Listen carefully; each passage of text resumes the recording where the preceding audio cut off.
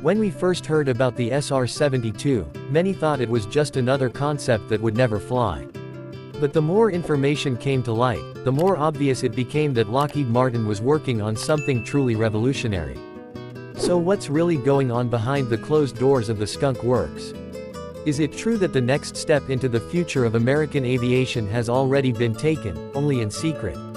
Let's find out. A black streamlined body that flows into a smooth, needle-shaped nose, swept wings with two protruding nacelles. One must agree, it sounds like we're describing some kind of futuristic aircraft. But in fact, we're actually talking about the Blackbird reconnaissance aircraft, which took off at the height of the Cold War. Equipped with two Pratt & Whitney J58 turbojet engines, this aircraft could reach a speed of Mach 3.2 and fly at an altitude of 85,000 feet, which forced the pilots to wear spacesuits to avoid losing consciousness. The aircraft had the smallest radar cross-section available to Lockheed at the time of its development, making it one of the earliest attempts at stealth design.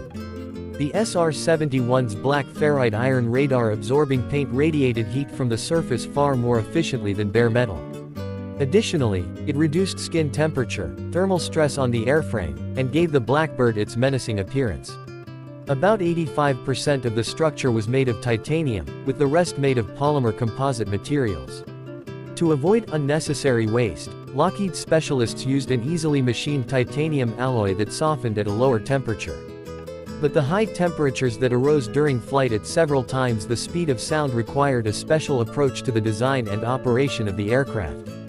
For example, the main sections of the SR-71's skin were corrugated rather than smooth, causing aerodynamicists to jokingly call the Blackbird the Mach 3 Ford Trimotor, due to the latter's peculiar corrugated aluminum skin.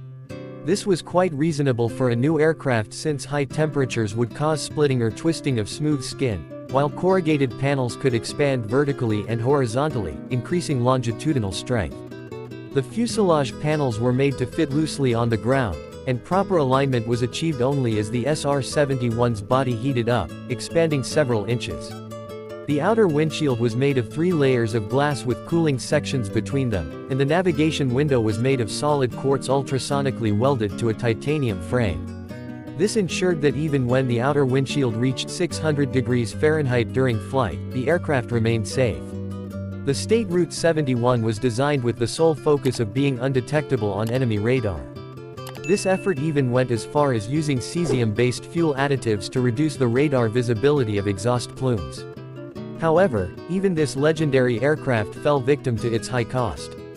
That was one of the main reasons Congress decided to stop operating it in 1989. The U.S. Air Force finally retired the State Route 71 in 1998, although NASA continued operating the last two airworthy aircraft until 1999, after which they were placed in museums.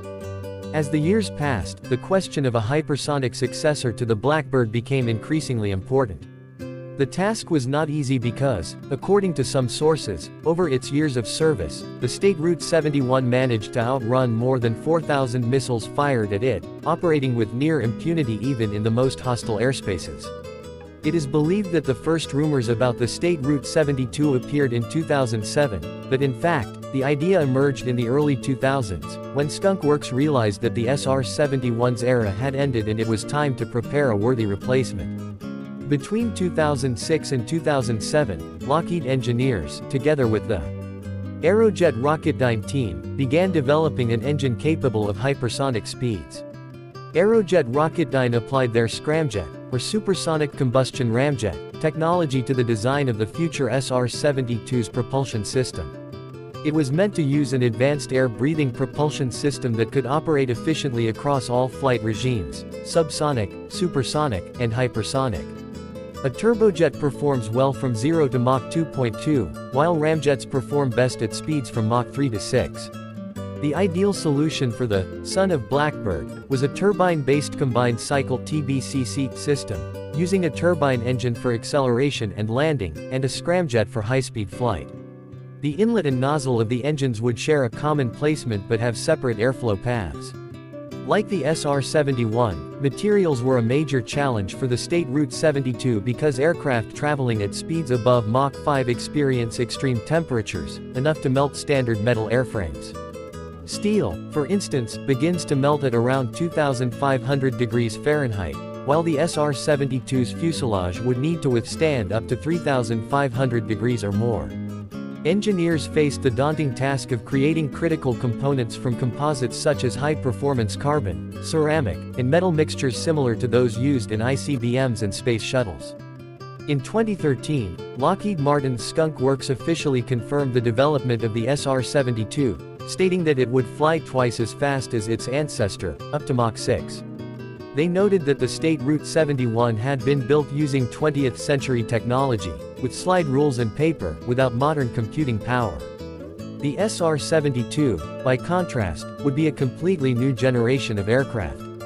The design of the new aircraft drew on lessons from the Falcon Hypersonic Technology Vehicle 2 HTV-2, a rocket vehicle built to study the main technical challenges of hypersonic flight, including aerodynamics, thermal effects, guidance, and control. The announcement came with the tagline, Speed is the new stealth. Three years later, Lockheed Martin CEO Marilyn Hewson said the company was on the verge of a breakthrough that would allow the state Route 72 not only to reach Mach 6 but also to build a hypersonic prototype roughly the size of an F-22 Raptor for under $1 billion.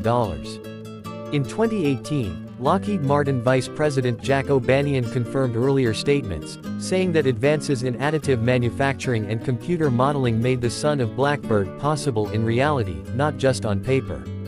The SR-72's main weapon is expected to be hypersonic missiles currently under development by the US military. Some argue that releasing or launching such missiles at high speed would create serious engineering challenges. However, Lockheed had already proven the concept by launching air-to-air -air missiles at speeds above Mach 3 using YF-12 interceptor prototypes. We even caught a glimpse of something resembling the state Route 72. Skunk Works helped create the secret hypersonic aircraft, Darkstar, for the film Top Gun, Maverick. Interestingly, about a month before the movie's release, Lockheed Martin's communications director for EMEA, John Nielsen, stated on Twitter that the Darkstar featured in the trailer might be a sneaky peek at the real SR-72, the successor to the iconic State Route 71 Blackbird. Skunk Works' design was so convincing that China reportedly redirected a spy satellite to photograph the concept plane, thinking it might be a real American experimental aircraft, though perhaps they're just fans of great American films.